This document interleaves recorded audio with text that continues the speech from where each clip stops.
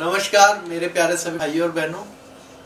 सत्य का विस्फोट कार्यक्रम में आप सभी का स्वागत है। आज हमारे बीच हैं भारत के बहुत बड़े विद्वान। अभी तो मैं कहूँ तो विश्व के बहुत बड़े विद्वानों में आने वाले एक परम पूज्य स्वामी सत्यानंद जी महाराज। अपने ज्ञान की अलग से, पिछड़े से पिछड़े क्षेत्र में जाकर के अनपढ़ से अनपढ़ व्यक्ति को सरलता से, सहजता से मुख्य धारा में जोड़ने का काम करने वाले ऐसे महान भारत के समाज सेवियों की अग्रिम पंक्ति में आने वाले स्वामी सत्यानंद जी महाराज हमारे बीच हैं। रामचरितमानस क्या हो गई, गीता क्या हो गई, वेद, पुराण, ऐसे कौन से धर्म ग्रंथ हैं जो आपके अध्ययन से छूटे सभी का ऐसा गहन अध्ययन किया है गीता पढ़ते इनकी बहुत जल्दी सीरीज़ आने वाली है। गीता और मेरा ज्ञान। आप सभी लोग सुनेंगे तो आप सभी लोगों के ज्ञान चक्षु खुल जाएँगे। आप सभी को समझ में आएगा कि गीता को किस तरीके से पेश किया गया और असल में गीता है क्या। आज ऐसे ही परम विद्वान, परम तपस्वी कहूँगा मैं तो परम तपस्वी और एक ऐसी विचारधारा को लेकर के समाज में उतरे हैं समाज कार्य में उतरे हैं जिसको लेकर कभी ज्योतिबा फुले कभी बाबा भीमराव अंबेडकर जी हमारे आराध्य देवता कभी सावित्री बाई फुले कभी महात्मा गौतम बुद्ध जिस विचार को लोगों तक पहुंचाना चाहते उसी विचार को लेकर के हमारे बीच आज स्वामी जी स्वामी जी आपका बहुत बहुत आभार। आप सत्य के विस्फोट कार्यक्रम में आए। जी जी। आपका बहुत आभार आपने समय दिया अपना। आज का आपसे प्रश्न है काफ़ी सारी हमारी बहनें हैं। जी जी जी। उन्होंने प्रश्न किया है जी। और कुछ भाई भी हैं जिन्होंने प्रश्न किया है। जी जी। प्रश्न यह है कि भारत में अचानक से यौन अपराध क्यों बढ़ने लगे?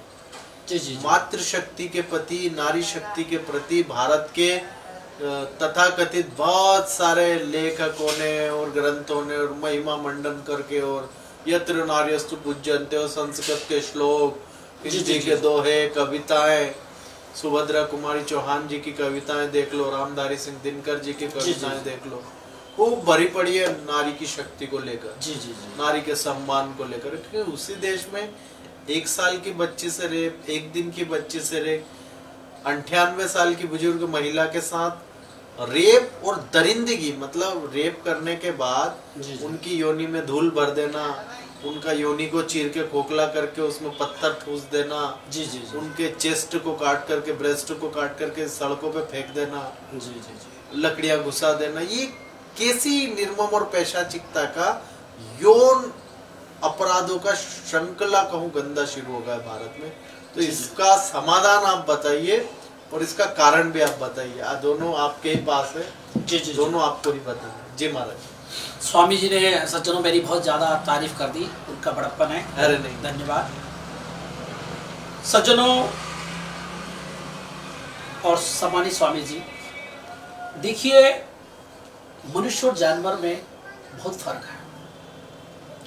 मनुष्य जो काम जो जानवर में कामुकता होती है वो ऋतुगत होती है।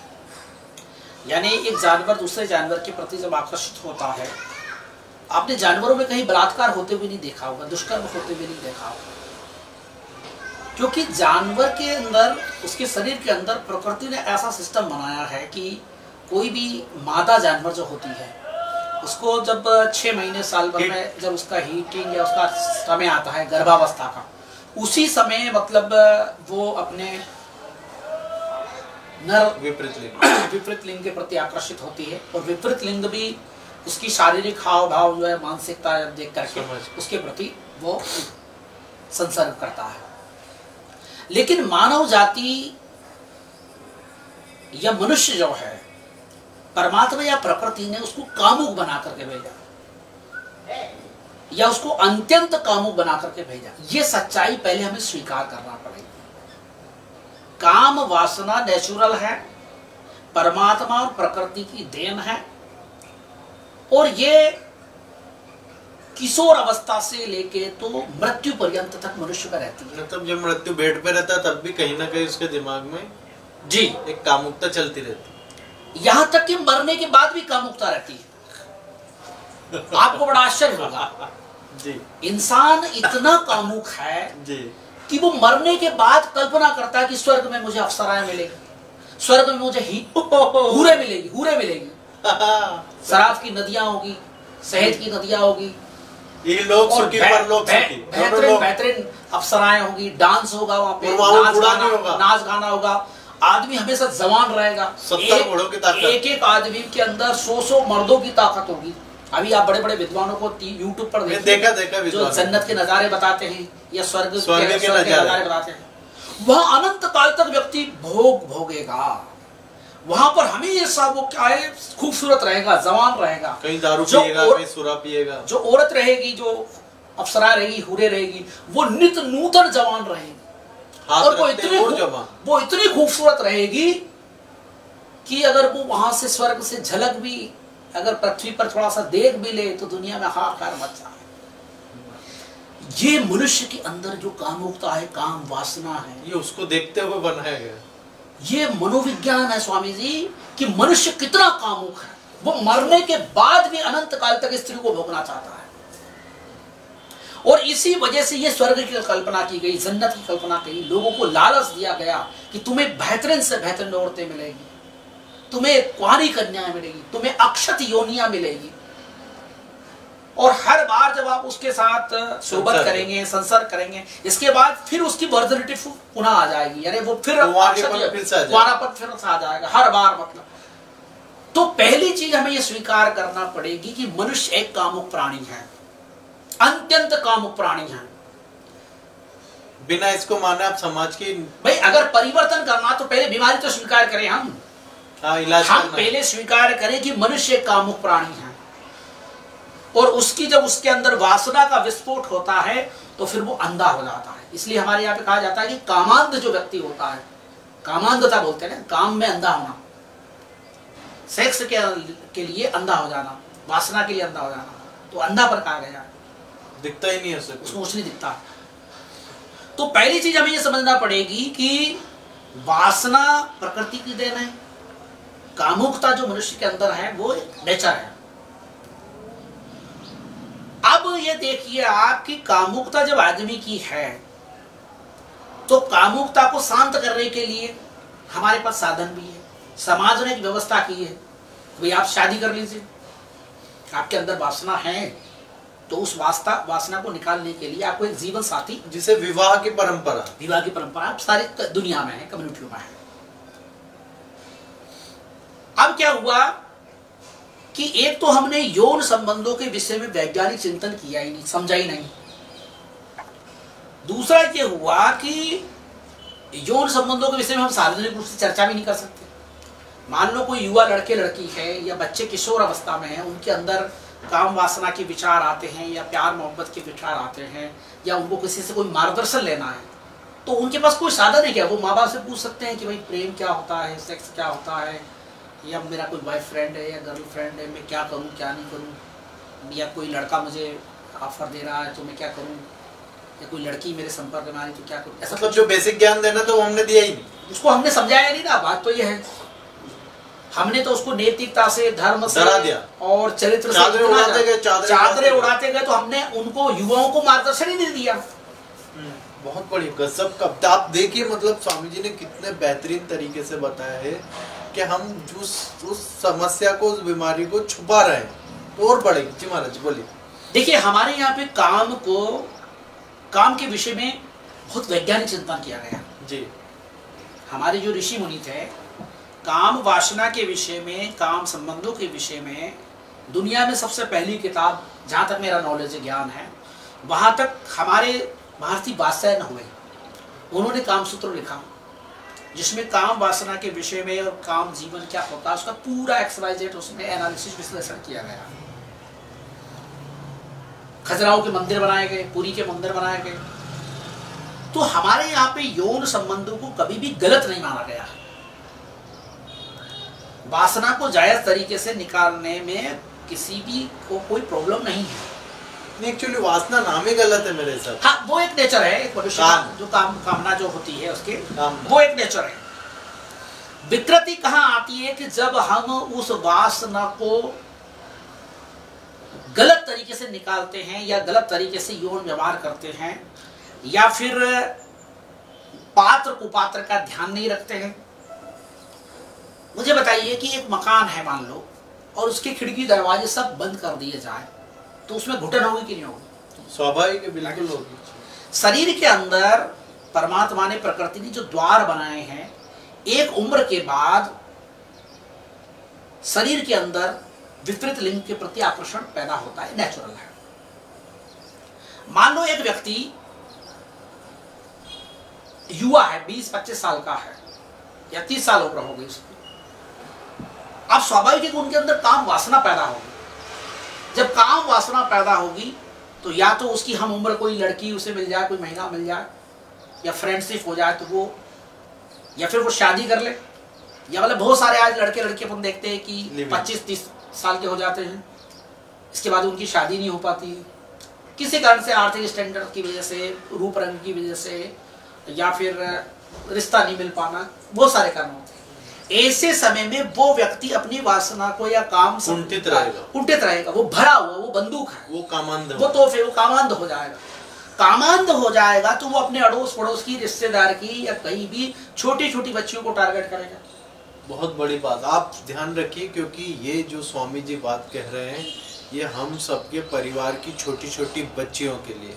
क्योंकि जितने भी इस प्रकार के अपराध देखे गए हैं और जहाँ तक हमारा अध्ययन है जहाँ तक रिसर्च है जो एनसीआरबी का रिकॉर्ड कहता है कि पड़ोस की परिवार की छोटी छोटी बच्चियों पर पड़ोसियों ने और रिश्तेदारों ने ही यौन अपराध किए यौन अत्याचार किए। जी महाराज बिल्कुल सही। आपने ये वास्तव में आ, मैं दर्शकों से कहना चाहता हूँ कि जितने भी यौन अपराध होते हैं उसमें करीब करीब 80 परसेंट जान पहचान वाले नब्बे लोग ही कह लीजिए हैं। महाराज, 90% नब्बे से भी ज़्यादा आप सकते कह हैं। वो उनके रिश्तेदार होंगे दोस्त होंगे जान पहचान वाले होंगे वही करते होंगे हुए, हाँ वो हुए।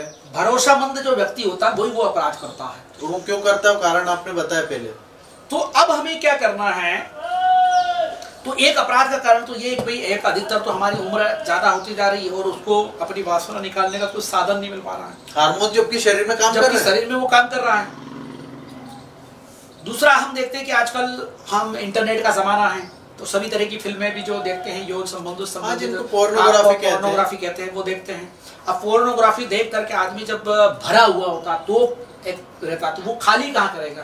तो हम रोकना चाहते हैं पोर्नोग्राफी ना कि हम इस समस्या को हल कर रहे हैं। नहीं नहीं मेरा ये कहना भाव नहीं है। नहीं आपका नहीं कह रहा मैं समाज का बता रहा महाराज। जी। समाज के लोग पोर्नोग्राफी बंद करना चाहते हैं लेकिन वो इस समस्या का हल नहीं करना चाहते। नहीं पोर्नोग्राफी भी बंद हो जाएगी तो क्या यौन अपराध नहीं होंगे? ऐसा नहीं है। ये तो अभी आई है पोर्नोग्राफी पोर्नोग्राफी तो अभी आई है। वास्तव में जो इनको सिर्फ़ ये एडल्ट लोगों के लिए शादीशुदा लोगों के लिए बनी हुई है हर किसी के लिए नहीं बनी है ताकि वो अपना काम जीवन व्यवस्थित तरीके से जी सके। जैसे हमारे यहाँ पे खजराओं के मंदिर बनाए गए थे या हमारे यहाँ पे कामसूत्र लिखा गया था या कामसूत्र में चौरासी आसन बताए गए हैं कि एक पति पत्नी एक दूसरे को संतुष्ट करने के लिए या उनका यौन जीवन कैसे हो तो उसके लिए विज्ञान है साइंस है। तो उसको और कैसे बढ़ा सकते हैं नहीं उस नहीं वो पारिवारिक जीवन में पति पत्नी एक दूसरे को कैसे संतुष्ट कर सकते हैं कैसे उनके बीच में संतुलित एक, एक, एक उनका जो मानसिक टेंशन है शारीरिक जो भूख है हाँ। उसको शांत करने के लिए क्या क्या साधन हो सकते हैं क्या क्या तरीके हो सकते हैं इसके लिए काम सूत्र लिखा गया था। अच्छा। इसके लिए खजुराहो के मंदिर बने थे इसके लिए जो पोर्नोग्राफी वगैरह जो आजकल जो बन रही है वो सब आती है। तो वो एक ज्ञान के लिए है और वो केवल शादीशुदा लोगों के लिए है। कुआरों के लिए नहीं है जो जो कुआरा है तो वो जाएगा कहाँ? उससे भरा जाएगा तो फिर जाएगा कहाँ? तो वास्तव में एक कारण वो भी रहता है। कई लोगों ने पोर्नोग्राफी देखी इसके बाद अपनी पड़ोसन महिला को बच्चे को, या बच्ची को या किसी रिश्तेदार को बुज़ुर्ग महिला को उसने किया। लेकिन हमारे उसका इजी टारगेट था उसने वो- टारगेट था। लेकिन आ, स्वामी जी आ, सदियों से मनुष्य में मनुष्य जाति में एक सिस्टम और है कि अगर मान लो कोई व्यक्ति काम वासना से भरा हुआ है और ना उसकी कोई गर्लफ्रेंड है ना उसकी शादी हुई है तो अब वो क्या करेगा बताइए आप। जी। तो उसका एक साधन है मतलब जो हमारा सभ्य समाज जिसको गलत मानता है। जो जगह जगह आजकल या जिसे जिसे हम चरित्रहीनता कहते हैं। लेकिन सदियों से हमारा जो समाज है वर्ल्ड लेवल वर्ल्ड का इतिहास पढ़िए समाज शास्त्र पढ़िए इतिहास पढ़िए सभी सभ्य समाजों में कुछ महिलाएँ कुछ परिवार कुछ जातियाँ कुछ वर्ग कुछ संप्रदाय ऐसे रहे हैं जो गणिका वृत्ति करते थे। यानी समाज समाज में जिनको नगर वधु कहा जाता था। जैसे हमारे यहाँ पे सैनिक होते हैं अब सैनिक बॉर्डर पे रहते चार चार महीना छह छह महीने परिवार से दूर रहते हैं। वो अपनी यौन वासना कैसे शांत करेंगे? तो उनके लिए सभ्य समाज ने व्यवस्था की थी कि गणिकाओं का इस्तेमाल किया जाए। बिल्कुल बहुत सही। नगर वधुओं का इस्तेमाल किया जाए। आप सभी देखिए कितनी बेहतर तरीके से बेहतरीन शब्दों में स्वामी जी बता रहे हैं। और इसी के लिए स्वामी जी शायद रण में जाने वाली रंडी कहा जाता था। हाँ रण में जो सैनिक जाते थे। वो दूर उनके नाच गाने का उनका मनोरंजन उनके यौन संबंधों को संतुष्ट करने के लिए। वरना वो जाकर के कहीं ग्रस्त महिलाओं के साथ दुर्व्यवहार ना करें। सही है। इसलिए ये व्यवस्था समाज ने दी थी। रण में जाने वाली रंडी मतलब उसका बहुत बड़ा मीनिंग है। हाँ, रण में जो जाती थी वो उनका मनोरंजन करवाती थी महिलाएँ। उनको हमने इस शब्द से नवाजा उनको कई नगर वधु कहा गया। कई और जो उनको- बेरणी मतलब जो रण में नहीं जाती होगी वो बेरणी जी जी जी। हाँ ऐसा बहुत बढ़िया जी जी। बोलिए। तो वास्तव में ये ये सारा जो आप पूरा इतिहास पढ़ते हैं जी। तो चाहे संस्कृत साहित्य पढ़े या कोई भी साहित्य पढ़े तो हर युग में ये रहा है। जी। ये समाज में सेफ्टी वॉल्व का काम करती थी ये महिलाएँ। उसको ही हमने ढक्कन लगा दिया। अब क्या हुआ कि आज मान लो कोई युवा है उसकी शादी नहीं हो पा रही या कोई एक विदुर है या कोई विकलांग है या पुरुष है या बुज़ुर्ग है उसके अंदर वासना तो है। अब वासना होने के बाद अगर शासन प्रशासन ऐसी व्यवस्था करता है कि हर नगर में कुछ महिलाएँ जो स्वेच्छा से सरकार की देख रही सरकार की देखरेख में समाज के देखरेख में ऐसी जो महिलाएँ हैं जो इस व्यवसाय को करती हैं स्वेच्छा से करती है। स्वेच्छा से। स्वेच्छा से करती जिसे बार बालाओं को अपन देखते हैं। स्वेच्छा से। स्वेच्छा से वो कर रही है आजकल तो क्रिकेट चलता है तो उचकती चीयर गर्ल्स हाँ वो चीयर कल को अपन वो नहीं नहीं वो नहीं कह रहे हाँ। लेकिन एक उदाहरण के लिए पेशा बता लेकिन क्या है कि कुछ महिलाएँ या कुछ लड़कियाँ स्वेच्छा से इस व्यवसाय को करती है। आज अपन देखते हैं कि शासन प्रशासन की तरफ़ से देखते हैं कि फलानी लाज में सेक्स रैकेट चल रहा है। रैकेट है। अब राज़ी मर्ज़ी से अगर दो स्त्री पुरुष आपस में संबंध बना रहे हैं एक तरफ़ तो, एक तरफ़ तो कानून ये कहता है कि भाई वो जायज़ है कोई दिक्कत नहीं है। दूसरी तरफ़ आप उसको छापा मार के गिरफ़्तार भी कर रहे हैं परेशान भी कर रहा है उसको। तो मुझे बताइए कि जो बंदूक जो भरी हुई है युवा की या जो भी है वो व्यक्ति क्या फिर बच्चियों को फिर बूढ़ियों को या फिर ज़बरदस्ती किसी महिला को टारगेट करेगा?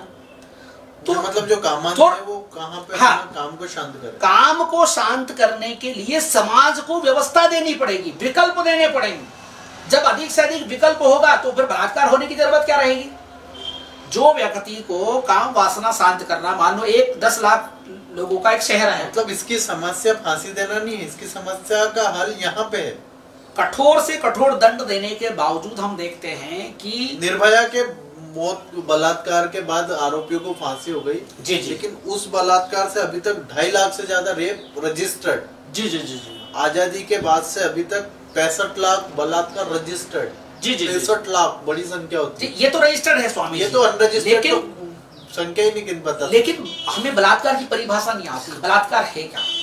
बलात्कार का मतलब होता है किसी स्त्री की इच्छा के विरुद्ध उसके साथ यौन संबंध बनाना।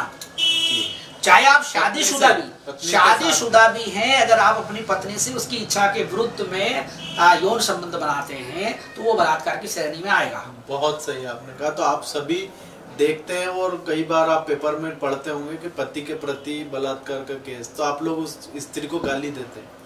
लेकिन स्त्री को महिला को मातृशक्ति को गाली देने से आपकी बुद्धिमत्ता या आपका धार्मिकता नहीं झलकेगा।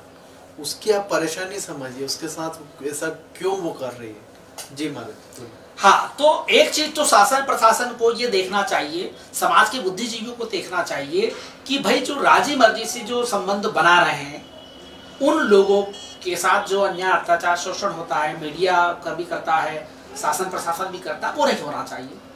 और राज़ी मर्ज़ी से जो हो रहा है, उसको कोई प्रॉब्लम ही नहीं अब जो दूसरी चीज़ ये है कि भाई बहुत सारे लोग ऐसे होते समाज में जिनको राज़ी मर्ज़ी से भी आ, सेक्स संबंध बनाने को नहीं मिल पाते। यौन संबंध बनाने कोई साथी तैयार नहीं होता उनका कोई साथी उनके लिए तैयार नहीं। है तो इसके लिए वास्तव में हमारे शास्त्रों में परंपराओं में और सभी जगह आपने सुना होगा मास्टर बेसन एक। हस्तमैथुन। हस्तमैथुन जिसको कहा जाता है। और ये पूरे वर्ल्ड में होता है। अब हमारे यहाँ पे युवा लोगों को या जो भरे हुए लोग हैं उनको ये समझाने की ज़रूरत है कि भाई अगर आपके अंदर वासना का विस्फोट हो रहा है बलात्कारियों के लिए बता रहे हो हाँ बलात्कारियों के लिए बता रहा हूँ ये आम लोगों के लिए आम लोगों के लिए नहीं नहीं है। हम लोग इसको बिल्कुल भी ना करें। ये तो क्रूर अत्यंत वहशी दरिंदे जो हमारी माँ बहन बेटियों के साथ अत्याचार कर देते। और देखिए उसी के लिए इतना इस विषय को हम चर्चा लेकर के आपके बीच आए क्योंकि आज तक इस विषय पर कोई मार्गदर्शक ही नहीं रहा। और मार्गदर्शक हैं तो वो पोर्नोग्राफी वाले हैं। वो आपको और दिग्भ्रमित करके आ, जीवन के अंत करने की स्थिति में पहुँचा देंगे। तो यह पूरी की पूरी जानकारी एक यौन शिक्षा के रूप में एक सेक्स एजुकेशन के रूप में आपके बीच है और हम समस्या को बढ़ाना नहीं चाहते हल करना।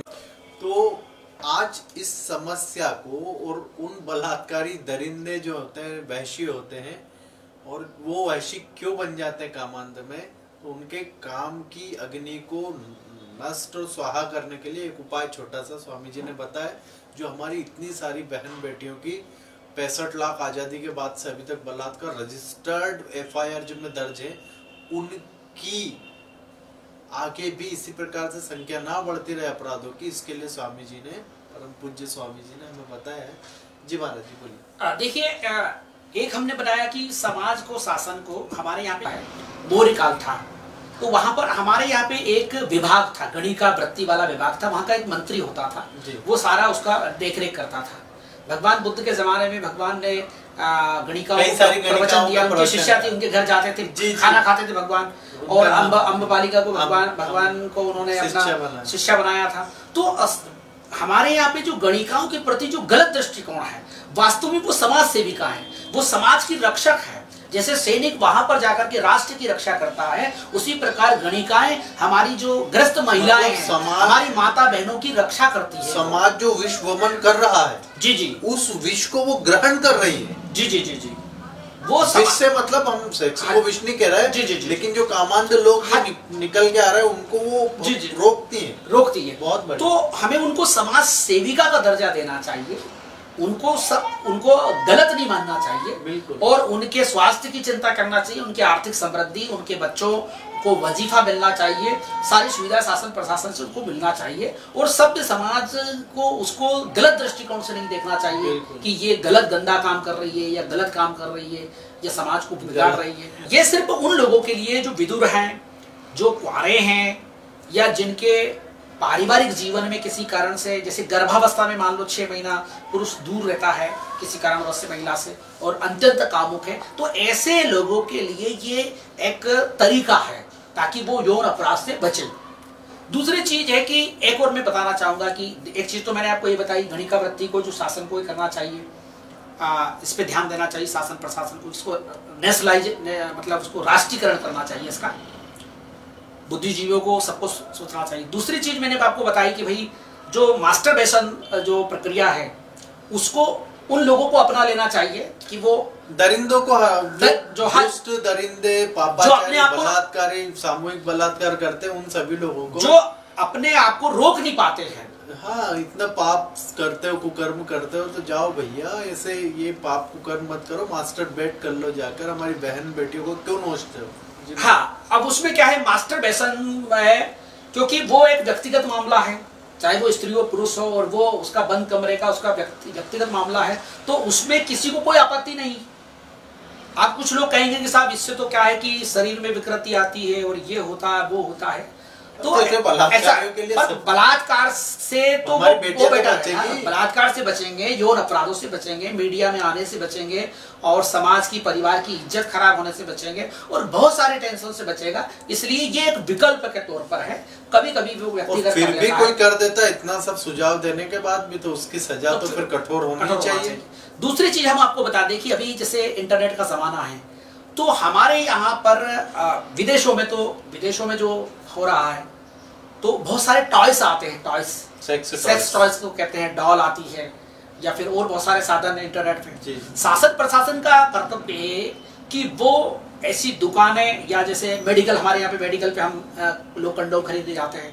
तो ऐसी सुविधा है कि सेक्स जो टॉयस हैं वो भी समाज को मिलना चाहिए उस आसानी से अवेलेबल हो जाए ताकि वो लोग जो कामुकता से भरे हुए हैं अपनी दरिंदे जो बन रहे दरिंदे जो बन रहे हैं उनके पास वो आसानी से पहुँच जाए ताकि समाज में ये अपराध रुके। हमारी बहन बेटियाँ तो सुरक्षित रहेगी ऐसे दरिंदों के लिए है ये। जी। सबके लिए नहीं है तो आप सब लोग जो हमें सुनते हैं फॉलो करते हैं वो इस चक्कर में ऐसे करने लग जाए।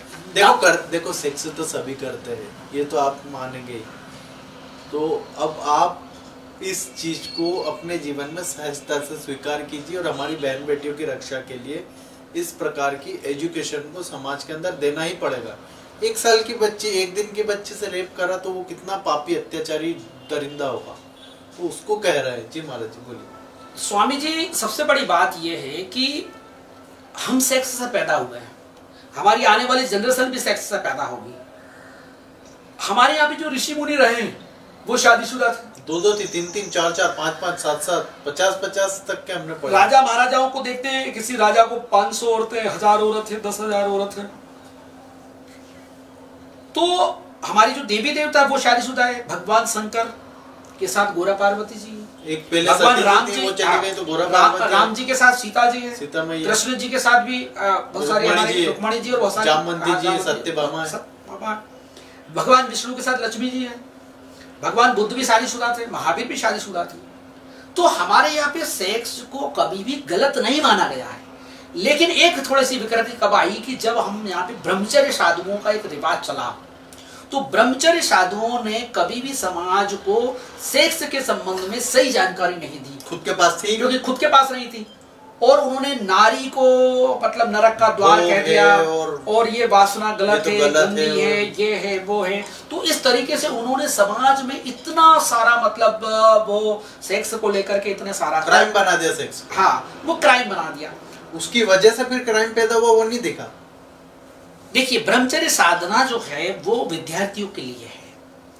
कि जो विद्यार्थी स्कूलों में कॉलेज में पढ़ रहे हैं वो अपना अपनी पढ़ाई पर पूरा ध्यान फोकस कर सके अपने कैरियर पर पूरा ध्यान कर सके इसलिए उनके लिए ये है कि भाई वो किसी प्रेम संबंध में ना पड़े। उसके लिए लेकिन आज जमाना बदल गया पूरी तरह। महाराज वो बातें थी हाँ। तो सुनिए। बहुत पुरानी। आज जमाना ये बदल गया कि एक व्यक्ति डॉक्टर बनता है। तो डॉक्टर बनने के लिए उसको पाँच साल चाहिए। इंजीनियर बनने के लिए उसको पाँच साल चाहिए। आईएएस बनने के लिए उसको पाँच साल चाहिए सात साल चाहिए। तो वो अपना कैरियर बनाने के चक्कर में पच्चीस तीस साल के हो जाते हैं। आप पच्चीस तीस साल के हो जाते हैं तो स्वाभाविक है कि उनके संपर्क में कोई ना कोई उनका बॉयफ्रेंड गर्लफ्रेंड भी बनता है। स्वाभाविक। स्वाभाविक है नेचर है नेचुरल है। इंटरनेट से हम सब लोग जुड़े हुए हैं। तो हमें बच्चों को यह शिक्षा देना है कि वो अपने कैरियर पर ध्यान दें।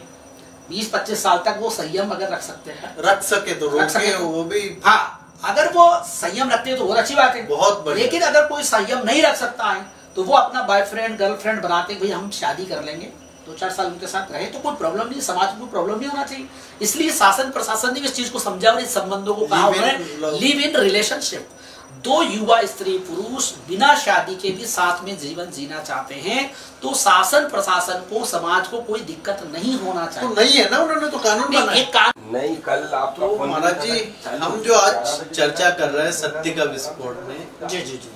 इसको बड़े ही बेहतरीन तरीके से आपने समाज को बताया है। जी जी जी लेकिन अ, कुछ बहनों के प्रश्न है कि गुरुदेव हमारे कपड़ों को लेकर भद्दी टिप्पणी की जा रही है।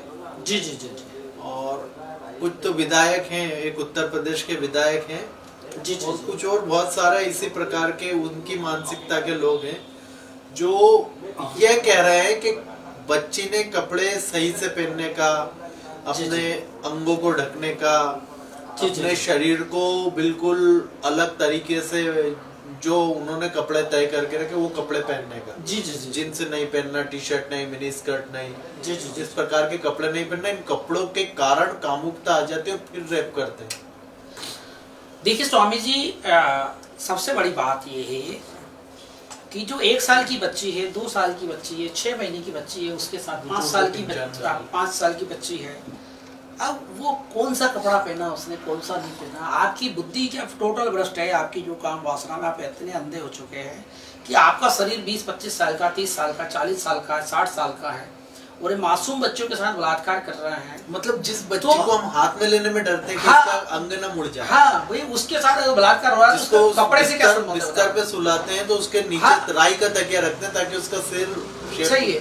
तो मुझे बताइए कि ये कपड़ों से बलात्कार होता है। विचार कीजिए कि मान लो कोई महिला नंगी घूम रही है। तो क्या हम सबका कर्तव्य कि उसको बलात्कार करें उसका? ये तो कोई ये कोई ये कोई मानसिकता है?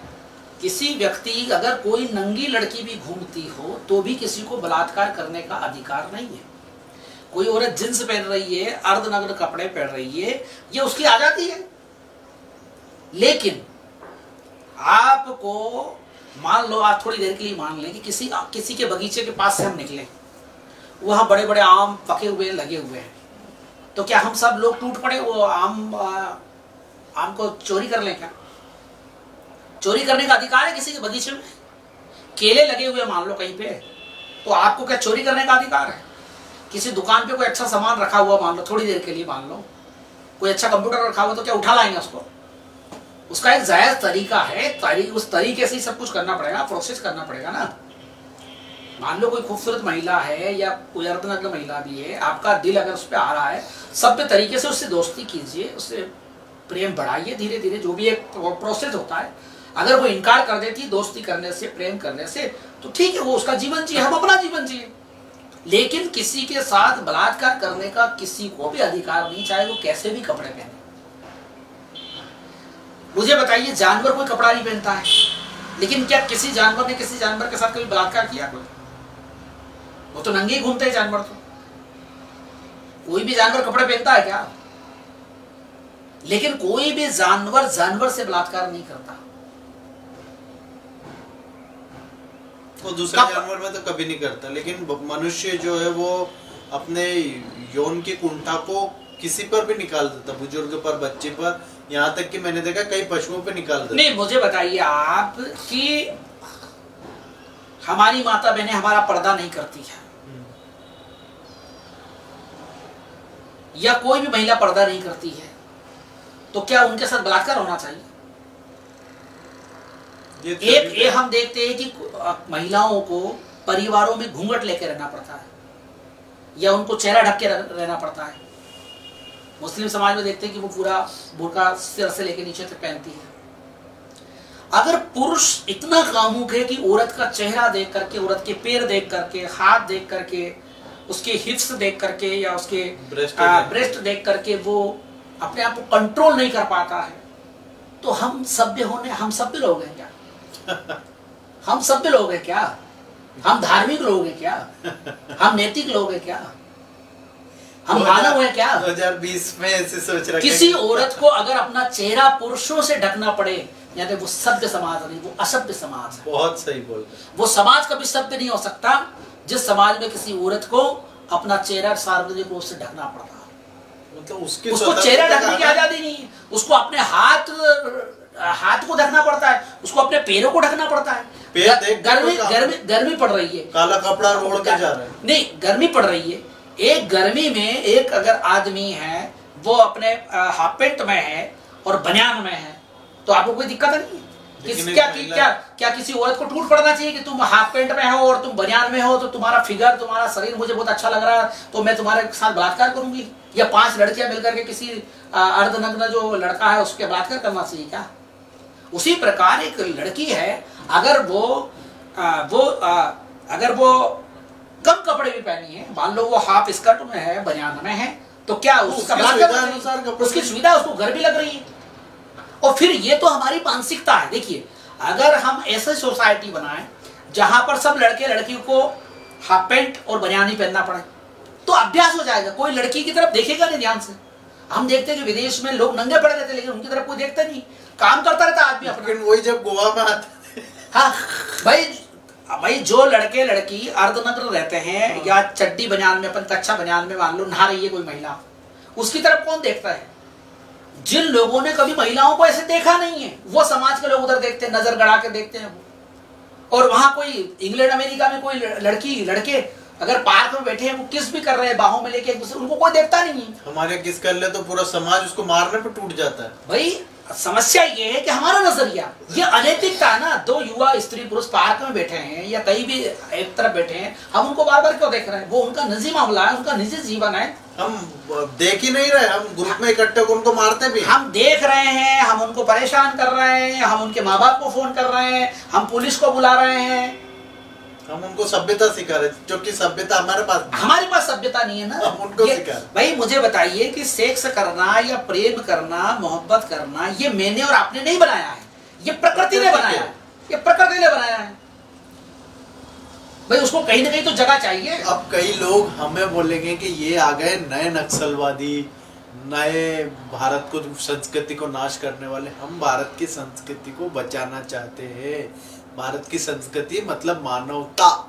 भारत की संस्कृति ये नहीं कहती कि एक प्रेमी युगल बैठा है तो उसकी हत्या कर दो उसे अकेले में ले जाके गैंग रेप कर दो।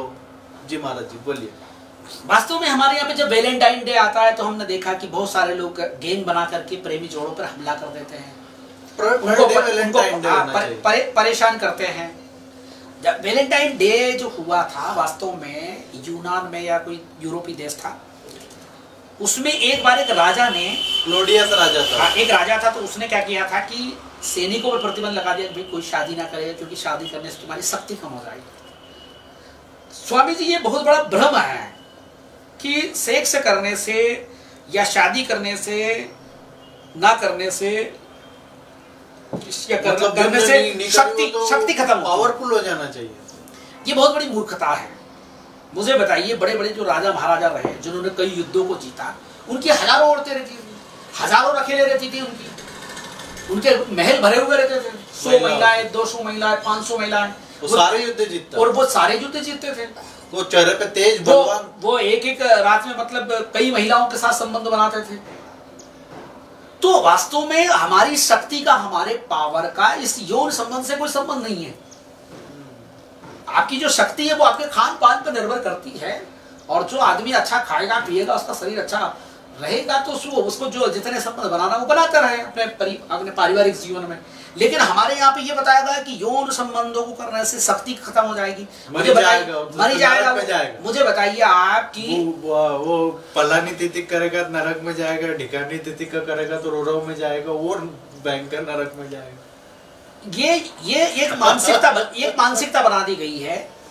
वास्तव में हमारे दिमाग के अंदर जो वासना है उसको टाइम टाइम से खाली कर देना चाहिए। वो अगर भरी रहेगी तो वो विस्फोटक रहेगी। जो व्यक्ति अपने ग्रस्त जीवन में पारिवारिक जीवन में यौन रूप से संतुष्ट नहीं है कोई महिला अगर अपने पति से संतुष्ट नहीं है या कोई पति अपनी पत्नी से संतुष्ट नहीं है तो फिर वो क्या करेगा? वो वो दूसरे काम करेगा ना। फिर उसमें क्राइम होते वो क्राइम होंगे। इसलिए हत्या होती हत्याएँ होती है बलात्कार होते हैं या फिर बहुत सारी जगह मतलब अदर्स अफेयर्स जिसको अपन कहते हैं वो होते हैं। इसलिए एक स्त्री का कर्तव्य है कि वो यौन शिक्षा भी प्राप्त करे वो जानकारी ले अपने पति को कैसे संतुष्ट करे ये उसका कर्तव्य है। एक पत्नी एक पति का कर्तव्य है कि वो यौन संबंधों की जानकारी उसको भरपूर हो वो अपनी पत्नी को मानसिक रूप से शारीरिक रूप से हर प्रकार से संतुष्ट रखे ताकि यौन अपराध ना। आपने देखा होगा कि एक दो बच्चों की माँ है वो प्रेमी के संग भाग गई। एक पाँच बच्चों की माँ है वो प्रेमी के संग भाग गई। क्या किस चीज़ के लिए तो मुझे बताइए इसके पीछे कारण ये कि प्रेम अलग चीज़ होती है और सेक्स अलग चीज़ होता है एक दो बच्चों की माँ है उसको प्रेम नहीं हुआ है अपने पति से। अगर प्रेम होता तो वो साथ में रहती। समाज ने उसको क्या है समाज ने कह दिया कि भाई तेरी जात का लड़का है और इसके तेरे के साथ शादी करना है। बाँध दिया प्रेम तो हुआ ही नहीं। इसलिए मैं प्रेम विवाह के समर्थक हूँ। क्योंकि जब प्रेम होगा और जिस व्यक्ति के साथ हमारा प्रेम है उससे शादी होना चाहिए। अगर बिना प्रेम की शादी है तो वो भी बलात्कार है उस महिला बहुत। बड़ी बात बहुत बड़ी बात बिना प्रेम की शादियाँ बलात्कार है महिला के साथ हो या पुरुष के साथ हो बलात्कार है। इसीलिए सभी जो इस विचारधारा में लेकर के जी रहे हैं कि फलाना गोत्र ओत्र पोत्र ये क्या क्या चीज़ें पता नहीं बहुत सारी फलाना ढीमका पीढ़िया दीड़िया सीढ़िया ये सब हटाओ। अंतर जाति विवाह करना शुरू कीजिए प्रेम विवाह होंगे तो समाज में रिलेशन खराब नहीं होगा। दूसरा महाराज जी फिर वहीं आ जाते हैं कि बलात्कारियों को कठोर दंड दे दें। जी कठोर से कठोर दंड दे दें। लेकिन अगर हमने समस्या नहीं हटाई जो हमने शुरू में बात किया जी जी जी जी। तो ये बलात्कारी तो फिर पैदा हो जाएँगे क्योंकि रंगा बिल्ला का नाम सुना होगा आपने वो डेंजर थे। जी जी जी। सीरियल किलर के नाम सुने। जी जी जी। तो इन लोगों को सजा दी लेकिन फिर समाज में निर्भया को ही देख लो ना। जी, जी। उसके बाद अगर ढाई लाख बलात्कार हो जाते हैं रजिस्टर्ड तो बहुत दुख का। देखिए सबसे बड़ी बात यह है कि हम कठोर से कठोर सजा दें वो ठीक है अपनी जगह। क्राइम करा उसे तो देना मिलना चाहिए। चाहिए मिलना मिलना ही चाहिए। उसमें कोई दिक्कत नहीं है। लेकिन क्या है कठोर सजा देने के साथ हमें ऐसे समाज की रचना करना है जहाँ पर जहाँ पर प्रेम करने को अपराध ना माना जाए जहाँ पर नारी का सम्मान हो ना कोई हमारी पत्नी भी हो या किसी की प्रेमिका भी हो तो उसे ज़बरदस्ती करने का अधिकार नहीं है उसको। बिल्कुल। जबकि उसकी इजाज़त के बिना उसके साथ सेक्स करना अपराध माना जाएगा। बहुत सही। मतलब तो हम नारी- खुलापन होगा लेकिन वैश्यानापन करने की नारी नारी का हम सम्मान करें। उसकी इच्छा नहीं है उस उसका मन नहीं यही है। सबसे बड़ा सम्मान है ये सम्मान है सबसे बड़ा सम्मान है उसकी इच्छा के आप बोलो यतनारे से पूजनते रमनते तत्र देवता ये सब वो किताबी बातें हो गई। आपको सम्मान तब देना पड़ेगा जब आप उसके मन की सुन पाएँगे। आपने तो किताबों में लिख दिया बोले आदमी के चार गुना और आठ गुना और फलाना गुना उसमें स्त्री में वो होता है उसे दबा के रखो उसे बाँध के रखो उसे ढक के रखो। उसे छोड़ दी तो वो उल्टा हो जाएगी कलंकिनी हो जाएगी ऐसे नाम दे दिए। जी जी जी। देखिए सबसे बड़ी बात है स्वामी जी ऐसा कहा जाता है कि शास्त्रों में स्त्री के अंदर आठ गुना काम वासना अरे कैसी बातें कर हाँ मतलब ये लोगों ने लिखा है मैं इसका घोर घोर हम तो घोर विरोधी और ऐसे दुष्ट लोगों को चार जूते चप्पल लगाने चाहिए चौराहे पर जो कहते हैं कि इतना हरे महाराज कितना वासना पुरुष के अंदर ज़्यादा होती है। क्यों होती है? उसके पीछे कारण है। महिलाओं को महावारी आती है मासिक धर्म होता है। तो पाँच छह दिन तो वो डिस्टर्ब होती है उसमें यानी प्रकृति ने उसमें बैंड लगा दिया कि उस समय वो परेशान रहती है स्वाभाविक रूप है कि और ये दर्द हमारी हाँ। माताएँ बहनें ही वो सभी सभी माता बहनें जो देख रही है वो महसूस करती है कि उस समय उनको पीड़ा होती है कष्ट होती है और कोई भी सभ्य समाज में हम देखते हैं कि ऐसे समय आराम के लिए- उनको आराम की ज़रूरत रहती है तो उन समय उन यौन संबंध बहुत हाँ। बढ़िया आपने प्रश्न लिया हाँ, मैं थोड़ा सा इसको रोक के पूछना चाहूँगा मैं अपनी बात खत्म हाँ। तो उस समय यौन संबंध नहीं बना सकती वो। इसके बाद फिर क्या है हर माता बहन को एक बच्चा होता है। तो बच्चा होता है तो गर्भावस्था के अंतिम दिनों में अंतिम माह तक अपन देखते हैं अंतिम समय में। वैसे क्या है कि ये भी ये भी एक भ्रम है उस गर्भावस्था में भी स्त्री पुरुष को अगर इस यौन संबंधों के विषय में जानकारी है तो बहुत सारे ऐसी जानकारी लेना चाहिए। ऐसी ऐसे आसंस है कि उसको गर्भ को भी दिक्कत ना आए और स्त्री पुरुष अपने मानसिक जो शारीरिक संतुष्टि वो भी कर ले। इस तरीके की बहुत सारे आसन और बहुत सारी वो चीज़ें कर सकते हैं दोनों मिल करके। लेकिन जब बच्चा पैदा हो जाता है तो कम से कम दो ढाई महीने तीन महीने का गैप स्वाभाविक जो। नेचुरल होता है वो रहता ही है। वो वेजाइना रिलैक्स के लिए हाँ, होता वो रिलैक्स के लिए होता है वो स्वाभाविक है वो। तो इन सारी चीज़ों को समझने की ज़रूरत है इसको वैज्ञानिक तरीके से समझने की समाज को समझाने की ज़रूरत हमने उस बॉडी हम को उस चीज़ को हमने उस चीज़ को क्या है कि अश्लीलता से जोड़ दिया चरित्र से जोड़ दिया। विज्ञान को अश्लील बता हाँ रहे मुझे बताइए कि एक आदमी की अगर पचास औरत है तो क्या वो अस- वो चरित्रहीन है? हमारे यहाँ पे हम देखते हैं कि राजा महाराजा के हज़ारों हज़ारों औरतें हज़ार नहीं हज़ारों औरतें हम किसी का नाम नहीं लें। राजा हुए नवाब हुए या बहुत सारे जो बड़े बड़े लोग थे उनकी हज़ारों औरतें होती थी तो क्या वो चरित्रहीन था? बिल्कुल। क्या वो राजा नहीं रहे? क्या उन्होंने देश को नहीं संभाला? क्या उन्होंने युद्ध नहीं जीते? और आपको लगता है आपके बच्चों के हाथ में आज 5G मोबाइल आने ही वाला है? 4G तो है 5G आने वाला है तो आप उसको कहाँ कहाँ रोक पाओगे? आपको शिक्षा ही देना पड़ेगा। नहीं देखिए मैं आपको बताना चाहता हूँ कि इंटरनेट का युग है। आज सारी जो पढ़ाई है वो मोबाइल से होगी। माता पिता सुन रहे हैं तो वो अपने बच्चों को पहले से समझा दे। जैसे वो किशोर अवस्था में आते कि बेटा तुम्हारे प्रति बहुत सारे लड़के बहुत सारे अट्रैक्ट होंगे। कई सारे फ़ायदा बहुत सारी। लड़कियाँ आपके प्रति आकर्षित होगी लड़कों के प्रति भी। जी। आपको संयम से रहना है। यथा संभव संयम से रहना है। पहली चीज़ तो हम संयम मतलब ये नहीं कि अपने को पैक करके ही रहे हो। नहीं संयम से रहने का तात्पर्य है कि कोई अगर व्यक्ति ये कहता है कि भाई मैं तुम्हारे साथ संबंध बनाना चाहता हूँ चेक करके करना चाहता हूँ तो अभी उससे ये बोल दीजिए कि भाई ठीक है आपने मेरी कदर करी मेरी इज़्ज़त करी उसके लिए धन्यवाद है मुझे अभी कैरियर बनाना है। तो कैरियर बनाना तो दो चार साल तो उसको अपन ऐसे टाल सकते हैं ना सामने वाले को। जी। अगर वो सच्चा प्रेम करता है तो वो इंतज़ार कर लेगा कि भाई मुझे चार साल रुकना अभी। और अगर वो भोगी होगा कामी होगा अब बाकी होगा काम होगा तो वो चला ही जाएगा। जाएगा वो दूसरे दूसरे दूसरा लेगा भाई इसके यहाँ तो कुछ भी नहीं है। तो तो दूसरी आप- जाएगा। तो सारी तो बहनों मेरी को भाइयों को आपको तय करना है कि कामी लोभी लोलुप इसकी पहचान आपने करनी। आपका प्रेमी प्रीस जो भी प्रियजन है उसकी पहचान अब आपको अब मुझे दसवीं एक लड़की दसवीं पढ़ रही है या आठवीं पढ़ रही है आ, या बारहवीं पढ़ रही है। अब उसके उसके उसके पास पूरा जीवन पड़ा हुआ है। जी। एक लड़का जो आठवीं पढ़ रहा है पांचवी पढ़ रहा है दसवीं पढ़ रहा है बारहवीं पढ़ रहा है उसका पूरा जीवन पड़ा हुआ है। अगर वो प्यार मोहब्बत में फंस जाएगा तो प्यार मोहब्बत में फंस जाएगा तो वो वो फिर अपना करियर कैसे बनाएगा? और अभी ये अपन देखते हैं इंटरनेट में देखते हैं अपन देख रहे हैं आठ साल की बच्ची आठवीं में पढ़ने वाली बच्ची प्रेग्नेंट हो प्रेग्नेंट हो गई है या फिर वो प्रेम कर लिया उसने किसी से घर से भाग गई सत्रह साल की लड़की सोलह साल की लड़की। मैं कहना चाहता हूँ कि कम से अच्छा कम भाई कैरियर पे ध्यान दीजिए। लड़का तो आप कोई भी मिल जाएगा प्रेम करने वाला तो कोई भी मिल जाएगा। शादी करने वाला कोई भी मिल जाएगा। बड़ा लेकिन मेन चीज़ है आपका फोकस कैरियर बनाना। अगर कोई अच्छा लड़का है अच्छे परिवार का है खूबसूरत है जवान है अगर वो भी किसी लड़की को ऑफ़र देता है भाई मैं तुम तुम्हें अपना जीवन साथी बनाना चाहता हूँ। एक चीज़ होती है टाइम पास करना। भाई आपके साथ यौन संबंध बनाया फिर दूसरी के साथ संबंध बनाया फिर तीसरी के साथ बनाया। तो वो, ऐसे लोग रहते हैं। कुछ लोग वास्तव में जीवन भर साथ देना चाहते हैं। तो वास्तव में अगर सच्चा प्रेम करते हैं तो हमें जीवन भर साथ देने वाले जीवन साथी को तलाशना चाहिए। और उसका उसकी पारिवारिक बैकग्राउंड क्या है उसका सामाजिक बैकग्राउंड क्या है उसका धार्मिक बैकग्राउंड क्या आपके है। साथ कुछ हाँ। चालाकियाँ तो नहीं कर रहा? वो भी तो वो भी तो देखना चाहिए। देश में कई सारी ऐसी घटनाएँ देखी हमने हज़ारों जिसमें एक षड्यंत्र के तहत भी हमारी बच्चियों को बहला फुसला कर नहीं अभी देखिए मैं देखता हूँ कि हमारे यहाँ पे फेसबुक पे लड़कियाँ प्यार करती हैं। जी। फेसबुक पे किसी ने फ्रेंड रिक्वेस्ट भेजी आपने एक्सेप्ट कर ली फिर वो उससे बात करता रहता है ना वो अपना चेहरा दिखाता है। ना वो अपना वंश गोत्र क्या है उसका धर्म क्या है जाति क्या है संप्रदाय क्या है वैसे हम जात पात को धर्म को मानते नहीं है भाई सभी पूरी मानव जाति है। वो मानव जाति नहीं बताता, लेकिन लेकिन अगर वो सच्चा है तो वो फेसबुक पे अपना फ़ोटो क्यों नहीं बता रहा है? अपने माँ बाप से बात क्यों नहीं करवा पा रहा है? आप चैटिंग चैटिंग करते हुए मैंने एक देखा मैंने मैंने एक देखा था एक मुस्लिम परिवार की महिला थी कर्नाटक की। वो एक फेसबुक वाले से प्रेम करने लगी और वो बिहार पहुँच गई। टीवी पर आया था मैंने देखा। और वहाँ निकला तो वो और वहाँ वो चार बच्चों का बाप निकला और वो घर पे भी नहीं मिला। हाँ, तो ऐसी मोहब्बत किस काम की? अभी हम देखते हैं कि वो रॉन्ग नंबर की मोहब्बत होती है। हाँ। कई बार लड़कियों को या महिलाओं को रॉन्ग नंबर से फ़ोन आ जाता है और धीरे धीरे वो बात करने लग जाती है। स्वामी जी ऐसा क्यों होता है?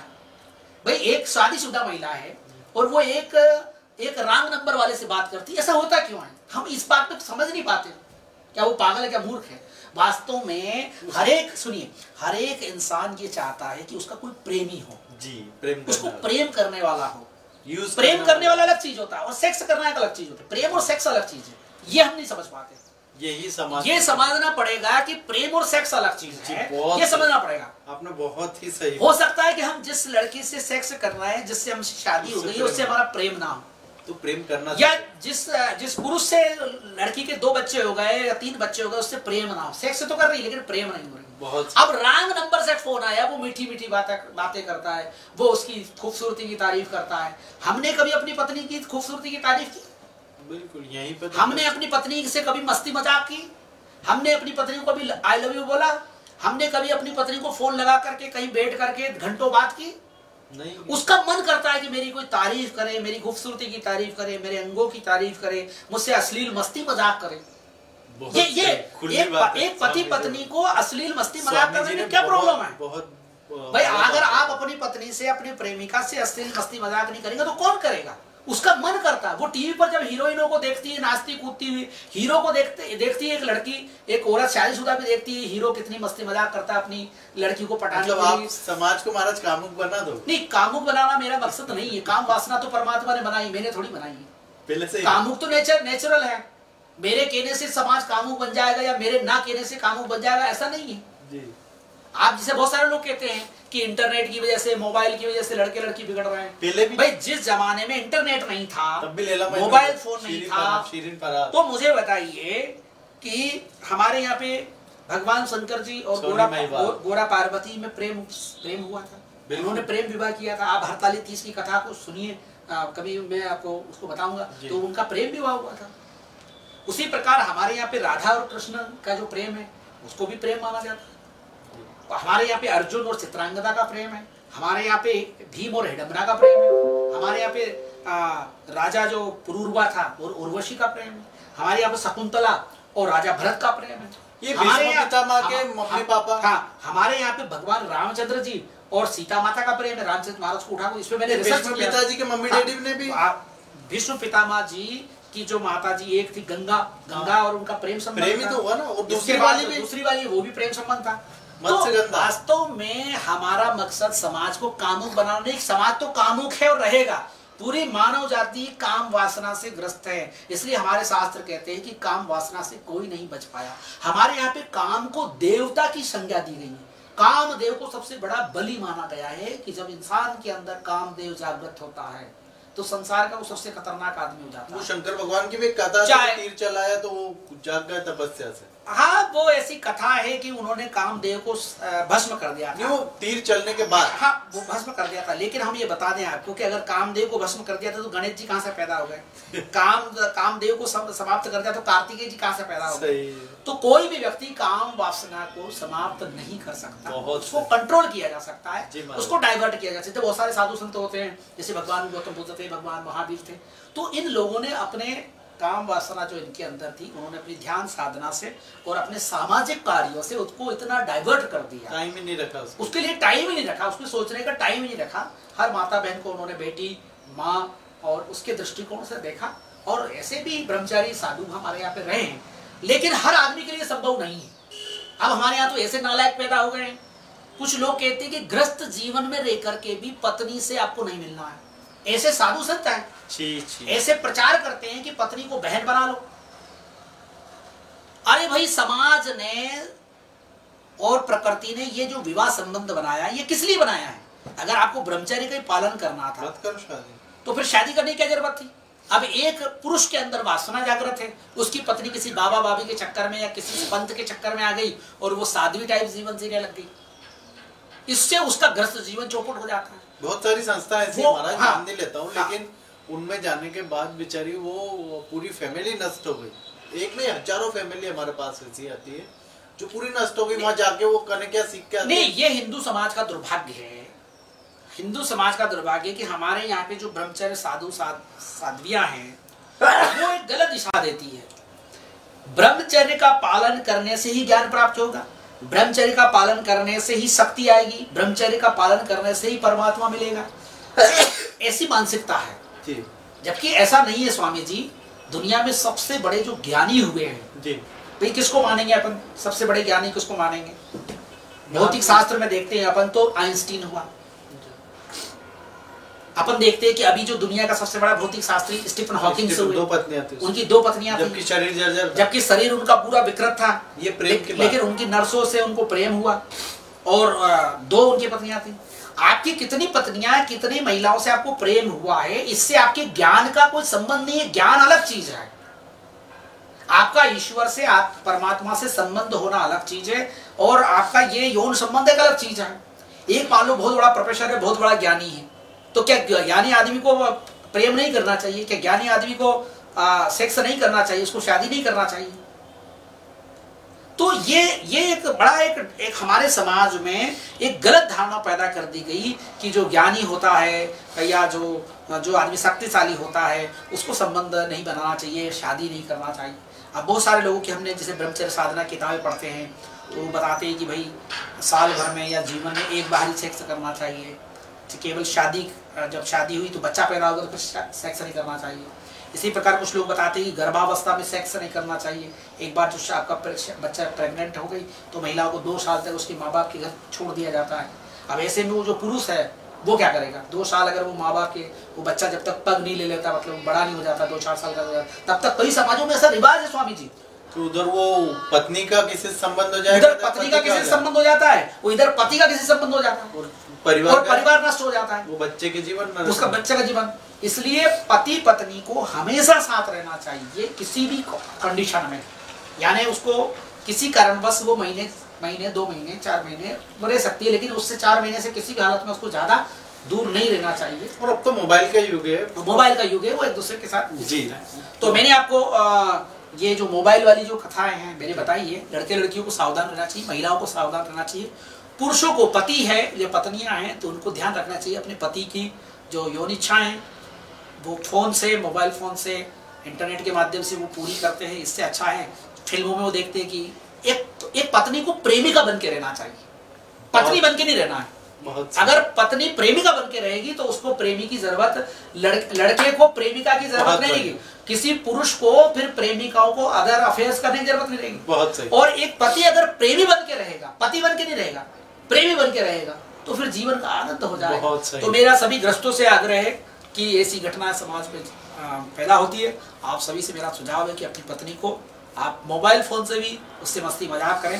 भाई जैसे अनजान लड़कों के फ़ोन आते हैं मीठी मीठी बात करते हैं उनसे वो खुश होती है भाग जाती है तो उसी प्रकार वही बातें आप भी तो कर सकते हैं। जी बहुत सही। महाराज जी ने कितना स्वामी जी ने कितने तरीके से समझाया और आप सभी को यही बार बार हाथ जोड़ के विनम्र निवेदन है आपसी रिलेशनशिप में हस्बैंड एंड वाइफ को बहुत प्यार से रहना चाहिए तो अच्छे समाज का निर्माण होगा, क्योंकि उनका जो बच्चा है, उनकी जो संतान उत्पन्न हुई है, उसका पूरा का पूरा जो आगे का जीवन है, वो अपने माँ बाप के जीवन को देख के सीखता है, समझता है। अगर उनकी हेल्दी लाइफ रहेगी मैरिज लाइफ तो समाज हेल्दी बनेगा। एक समाज का निर्माण आप कब करेंगे? जब आपके यहाँ से संस्कार जाएँगे। संस्कार कोई किताबों पोते पानड़े में जमा नहीं है वो आपकी पर्सनल लाइफ से निकल के समाज में जाते हैं। जी। आप सभी का बहुत आभार स्वामी जी का बहुत आभार कि आप हमारे बीच आए आपने सत्य का विस्फोट कार्यक्रम में इतने गंभीर विषय पर अपने मत रखे अपने विचार रखे और समाज को उससे कहीं ना कहीं बहुत अधिक लाभ होगा।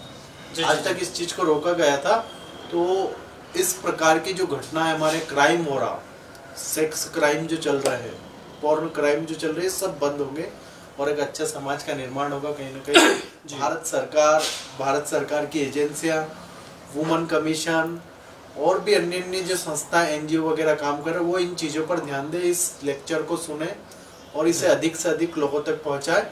इस लेक्चर पर हमारा कोई कॉपीराइट नहीं है किसी प्रकार का कोई कॉपीराइट नहीं इसे समाज के उपयोग के लिए आप कहीं भी आप इसको उपयोग कर सकते हैं अपने फेसबुक पर यूट्यूब पर व्हाट्सएप पर कहीं भी ले सकते हैं। कोई कॉपीराइट नहीं कॉपीराइट फ्री वीडियो है।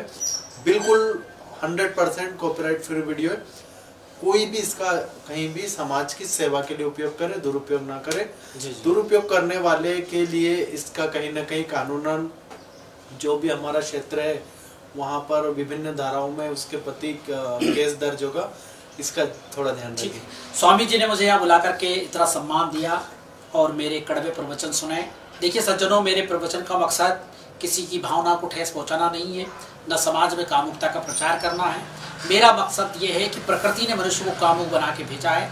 एक जायज़ तरीके से उसको अपनी वासनाओं को शांत करे और समाज अपराधों से मुक्त हो। किशोर बालक बालिकाएँ, युवा बालक बालिकाओं को हम जो बुद्धिजीवी लोग हैं, उनको सही तरीके से गाइड करें कि उनका जीवन सुख, शांति, समृद्धिपूर्ण हो। किसी भी प्रकार के जो यौन अपराध होता है, उस अपराध के प्रति हम सब जवाबदार हैं। अगर हमने युवा स्त्री पुरुषों को या किशोरी बालक बालिकाओं को सही ढंग से गाइड नहीं किया तो निश्चित ही उस अपराध के हम भी दोषी हैं। इसलिए मैं शासन प्रशासन से भी आग्रह करूँगा और समाज के बुद्धिजीवियों से आग्रह करूँगा कि वो यौन संबंधों को को लेकर के किसी प्रकार का शर्म संकोच न रखे। अपने माँ माँ बाप बच्चों को समझा दे कि भाई आपको भविष्य बनाना है तो इन संबंधों से अभी आपको थोड़ा सा दूरी बनाए रखना है। और अगर कोई लड़का लड़की अगर संपर्क में आता है तो माँ बाप को आप बताइए। और माँ बाप को इतना बड़ा दिल होना चाहिए कि बेटा हम तुम्हारी शादी कर देंगे इसी लड़के से कर देंगे लेकिन तुम अभी अपना कैरियर बना लो। ठीक। नहीं बहुत बहुत धन्यवाद।